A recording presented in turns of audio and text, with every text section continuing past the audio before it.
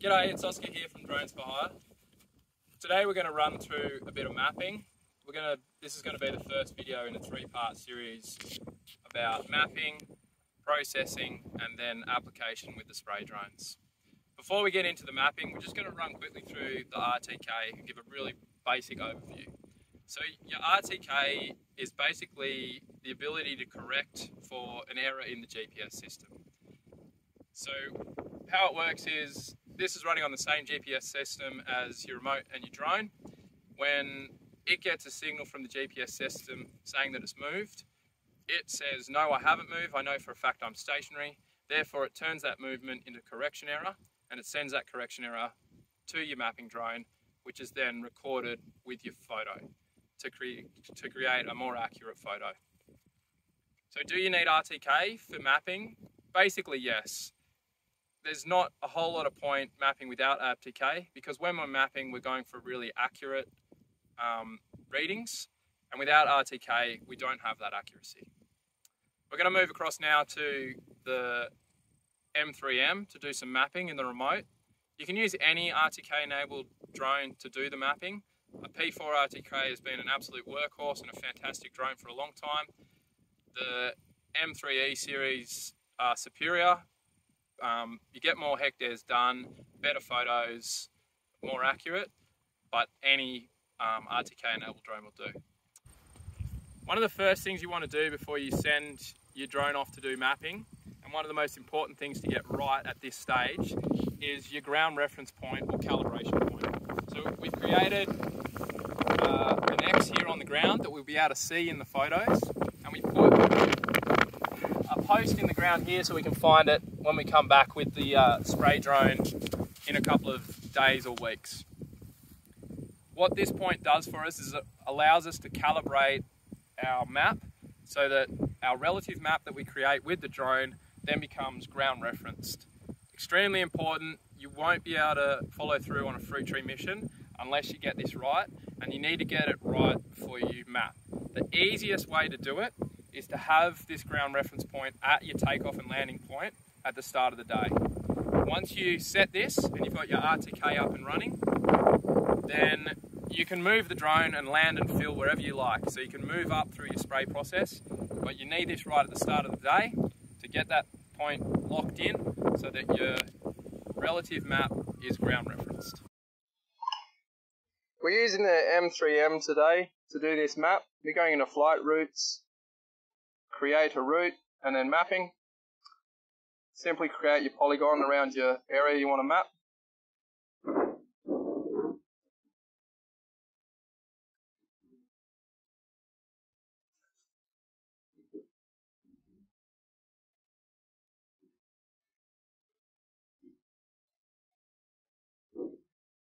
We've got a nice square area here. Make sure you include your landing and takeoff point, your calibration point we talked about earlier.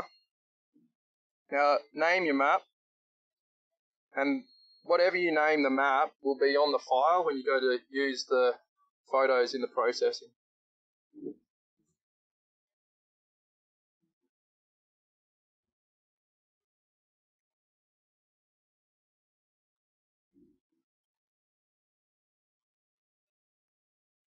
Going to select your camera, the M3M. We're just going to do RGB today.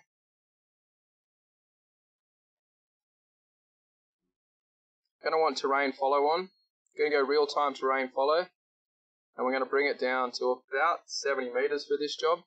80 meters is pretty good. Anywhere below that, you're starting to get a higher resolution. Makes it easier for plan ID.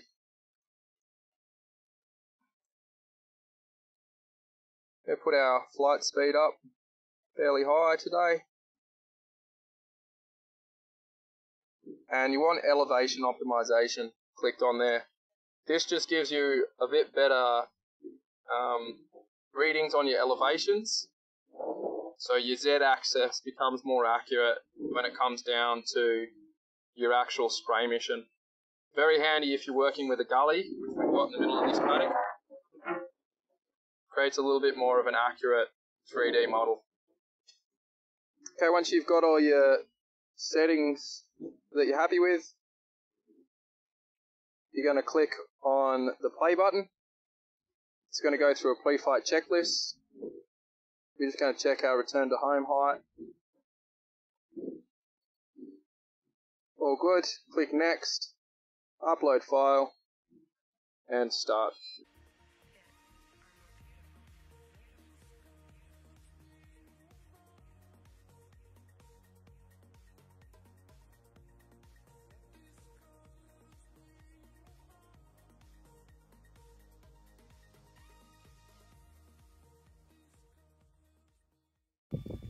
That's the basics on how we do our mapping. The first step in a, a three-step workflow for getting these Terra missions into your, your spray drone.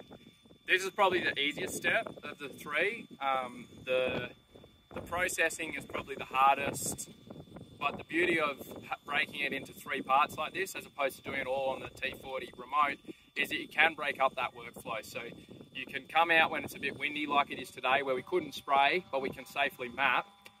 Then we can take the processing back to the computer at home or on the laptop in field.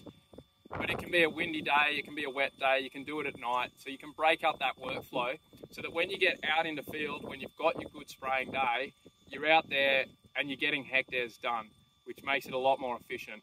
The T40 and its ability to map and then process and then spray is fantastic for small areas and fantastic when you've just got the one job and you don't really need to be smashing out those hectares when you can, when you've got the conditions to do it.